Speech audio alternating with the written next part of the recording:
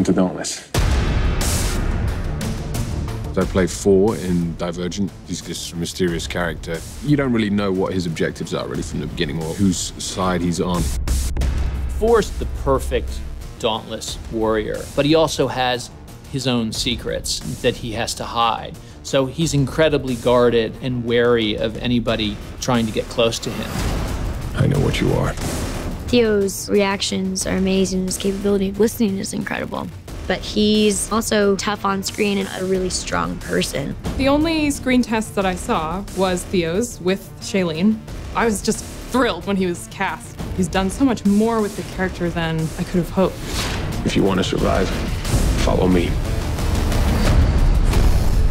We had to do these training stuff with extras that they had brought in. And uh, he came out as four.